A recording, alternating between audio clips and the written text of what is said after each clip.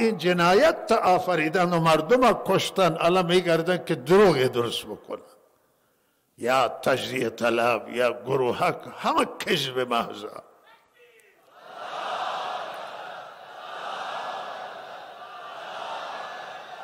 بعضی گفتن که ما با سلاح مورد حمله قرار دادن.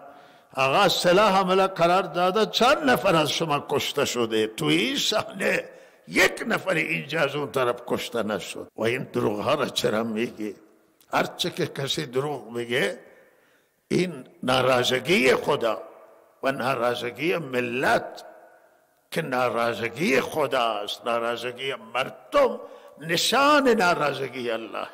انتظار ما از تهران، از مسئولان هم بود که بھئی رسیدگی کنن این موضوع را.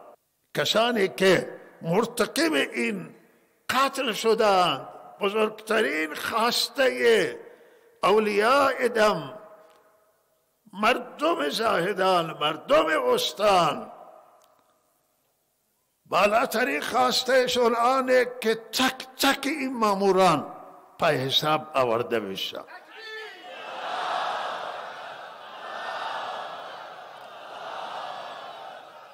دستگیر بشه نه کسی که اینا را فرمان داده دستگیر بشه.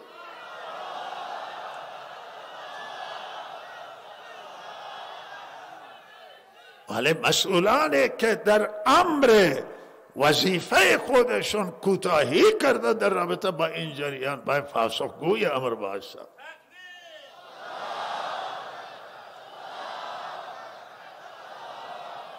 تو محل نمازی که اینجا اللہ تعالی را بندگی می‌کنن خدا سجده میشه الله عبادت میشه. تو این شلیک به کدوم مجوز صورت گرفته؟ به چه دلیل اینجا مردم یک دو ساعت زیر گلوله بستن یا توی خیابان که مردم در حال برگشت به خانه بودن و اینجا یک معموری کشته نمیشه. دلیل بر اینه که طرف مقابل سلاح نداشته برای سلاحش یک جانماز و مسلحی بوده که به شانه بوده چادری جای نمازی که سرش نماز بخونه به نماز آمده. و بالاخره این تا حالا ما منتظریم که فاسخی داده میشه. وزیر کشور آمده از مجلس آمده.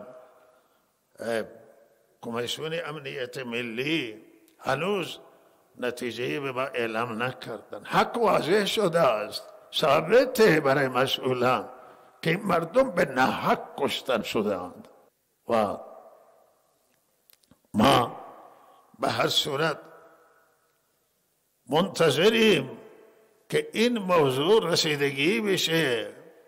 و بالاخره هم کسانی که این جرم مرتکب شدن محکوم بشن.